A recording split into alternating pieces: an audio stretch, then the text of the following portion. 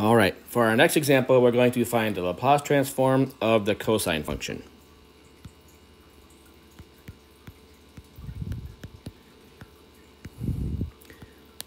And this can be found a bunch of different ways.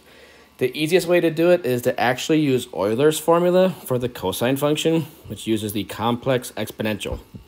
So that's going to be the Laplace transform of the sum e to the i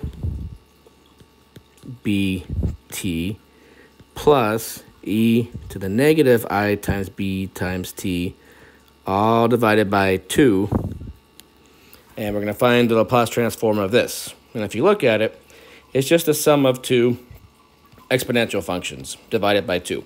So we can use linearity to actually go ahead and find the Laplace transform without breaking into the definition with integrals.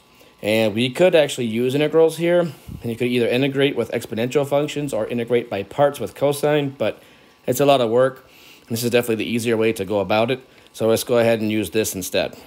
So when we do this, we're going to have one half of the sum of the two individual Laplace transforms. e to the ibt plus one half Laplace transform of e to the negative i bt.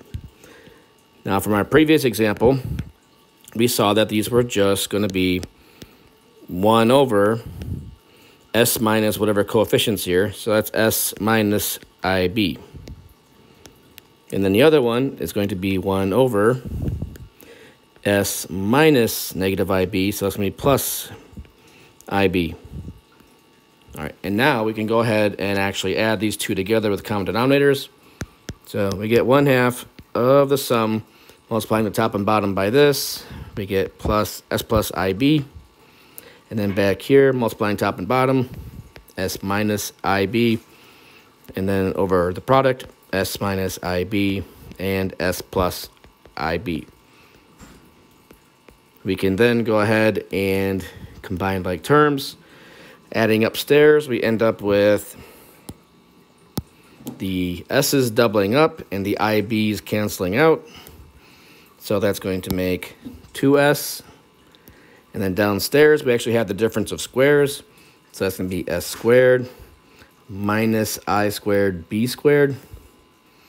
And we all know from complex numbers that that's actually i squared is negative 1, so that becomes an s squared plus a b squared.